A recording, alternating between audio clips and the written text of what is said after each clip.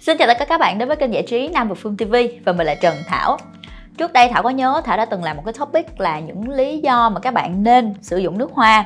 Nhưng mà khoảng thời gian đó tới đây á, thảo vẫn còn cảm thấy rất là nhiều bạn mình chưa có khái niệm sử dụng nước hoa trong cái sinh hoạt hàng ngày của mình. Và thậm chí là có nhiều bạn còn hỏi thảo là ủa tại sao mà thảo cần thiết gì mà phải sử dụng nhiều nước hoa quá vậy? Hay là mình không cảm thấy cái điều đó nó cần thiết. Thì vậy cho nên thảo một lần nữa muốn làm thêm một cái topic để mà chia sẻ những cái lý do mà các bạn nên nha, nên có sử dụng nước hoa ít nhất là một chai thôi trong cái cuộc sống sinh hoạt hàng ngày của mình. Và chúng ta hãy cùng nhau tìm hiểu những lý do mà chúng ta phải sử dụng nước hoa nhé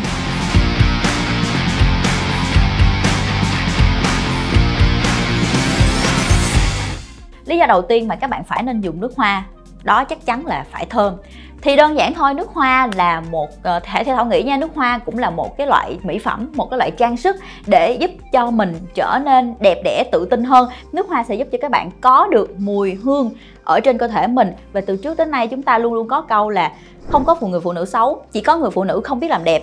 Thì đến bây giờ thảo cảm thấy câu đó nó rất là bình thường rồi và nó là hiển nhiên luôn. Thì ở nước hoa cũng vậy, thảo luôn luôn có một cái gọi là khái niệm là mình phải thơm thơm ở đây có nghĩa là nằm ở cái mức độ hài lòng của bản thân mình. Mình tự chấm mình mình hài lòng thì chắc chắn là mình sẽ có được một cái sự tự tin hơn khi mà bước ra khỏi nhà. Nguyên nhân thứ hai cái này thảo thấy cũng quan trọng nè đó là gây ấn tượng gây sự chú ý. Thảo đơn giản thôi ví dụ thật crush anh đó thì thảo làm một phải làm một cái điều gì đó uh, nổi bật để cho người ta chú ý đến mình ha. Thì có thể là mình uh, lấy cái thế mạnh của mình là vì uh, mình đẹp hoặc là dáng mình cũng đẹp hoặc là lời ăn tiếng nói có duyên chẳng hạn. Nhưng theo thảo nha những cái thứ đó bây giờ á thì nếu như mà người ta mình mình, mình có nhiều thời gian thì mình có thể làm. Nhưng nếu như mà không có nhiều thời gian tại vì sao? Uh, mình người ta thấy mình đẹp đúng không? Thì mình phải tháo khẩu trang ra thì người ta mới thấy mình đẹp. Người ta thấy mình duyên thì mình phải nói chuyện tiếp xúc thì người ta mới thấy mình duyên đúng không? Còn mùi hương người ta không cần phải nhìn cũng không cần phải lắng nghe.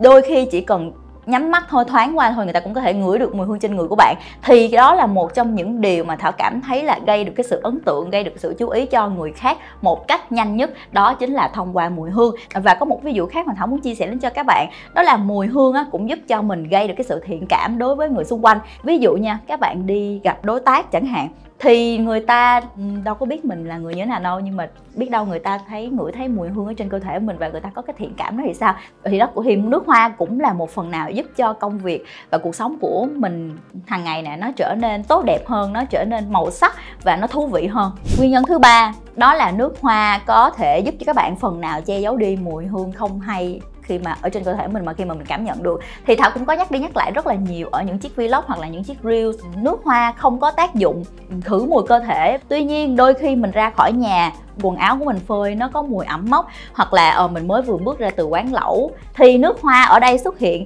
giúp cho các bạn uh, cảm thấy an toàn thì chỉ cần các bạn cảm thấy là ừ nó an toàn nó đang ở cái tình trạng là ok nhất hiện tại rồi thì nước hoa sẽ giúp cho các bạn làm điều đó. Ờ, thì cái nguyên nhân thứ ba mà thảo muốn chia sẻ cho các bạn đó, đó là nước hoa giúp cho mình phần nào che lấp đi mùi không hay ở trên cơ thể mình hoặc là có thể giúp cho mình cảm thấy an tâm hơn khi mà bước ra khỏi nhà. Nguyên nhân số 4 thảo thấy cái này nó cũng khá rất là quan trọng nha đó là nước hoa sẽ tiếp thêm cho bạn một cái sự tự tin nhất định.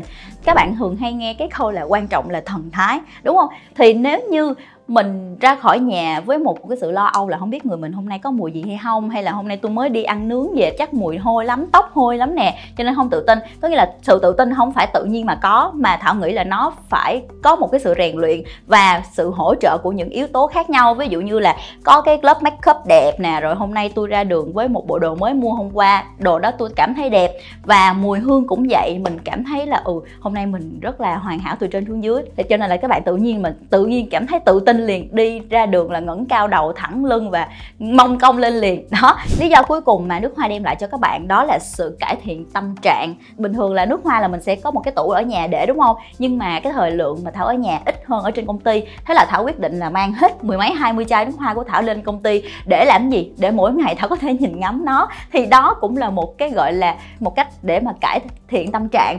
Thì đương nhiên là mỗi người sẽ có một cái cách cải thiện tâm trạng khác nhau. Thì thảo là một dạng mà thích Ừ, nhìn ngắm những chai nước hoa mình đang có. Đôi khi là thảo cũng muốn lau chùi, rồi dọn dẹp, rồi đôi ra ngửi mùi, rồi sắp xếp gì đó. Và thảo muốn khuyến khích các bạn là mình có ít nhất ít nhất nha, là một đến hai chai, thậm chí là dưới 5 chai để mà mình có thể sử dụng. Hoặc là nếu như mình cảm thấy không cần thiết sử dụng nước hoa thì thảo vẫn muốn các bạn là mình sở hữu một chai để mà các bạn có thể tạo nên một mùi hương signature cho mình. Còn mà bạn nào mà vẫn chưa có một cái sự, gọi là, quan tâm nhất định đối với nước hoa thì thảo hy vọng rằng sau chiếc vlog này thì sẽ giúp cho các bạn phần nào thay đổi cái suy nghĩ của mình về những mùi hương nha. Bởi vì thảo cảm thấy là cái thế giới mùi hương nó thật sự là rất là nhiều màu sắc. Và đừng quên like, subscribe kênh giải trí Nam bộ Phương TV để đón xem nhiều chủ đề hay hơn từ bọn mình. Và các bạn nhớ nhấn chiếc chuông để mỗi lần chúng mình ra vlog á, thì sẽ thể hiện thông báo cho các bạn biết nha. Rồi mình là Trần Thảo. Cảm ơn hẹn gặp lại các bạn ở những vlog sau.